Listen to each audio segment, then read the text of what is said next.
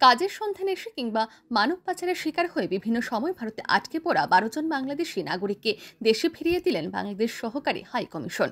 অবৈধ অনুপ্রবেশের সাজা ভোগ শেষে মঙ্গলবার আগরতলা আখাউড়া চেকপোস্টের মাধ্যমে পুনরায় নিজের দেশ বাংলাদেশে ফেরেন তারা। আগরতলায় অবস্থিত বাংলাদেশ সহকারী হাই কমিশনের মাধ্যমে তাদের পরিবারের কাছে হস্তান্তর করা হয়।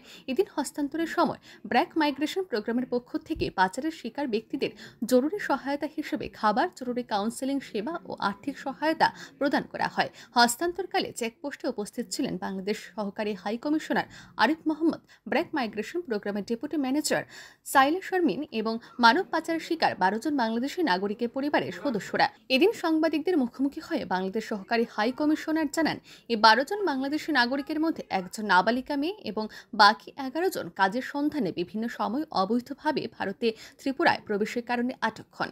এরপর আদালতের নির্দেশে তাদের জেলে প্রেরণ করা হয়। পরবর্তীতে তাদের নাগরিকত্ব যাচাই করা হয় এবং স্বরাষ্ট্র ও পররাষ্ট্র মন্ত্রণালয়ের নির্দেশনা অনুযায়ী যোগাযোগ করে তাদের দেশে ফেরার জন্য ভারত সরকারের অনাপত্তি সংগ্রহ করে বাংলাদেশ সহকারী হাই কমিশন।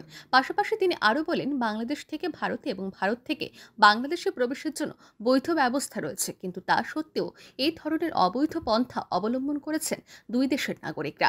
এক্ষেত্রে প্রশাসনের পাশাপাশি দুই দেশের নাগরিকদেরও সচেতন হতে হবে এবং নিজের পরিচিতি কেউ যদি এ ধরনের পন্থা অবলম্বন করার চেষ্টা করে তাহলে তাদেরও রুখতে হবে।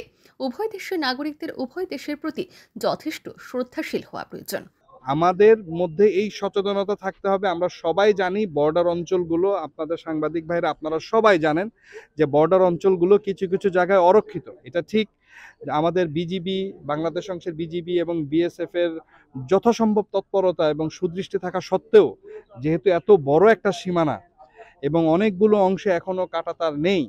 তো এই জন্য এইটার সুযোগ আসলে দুষ্কৃতিকারীরা এই সুযোগগুলো নিচ্ছে।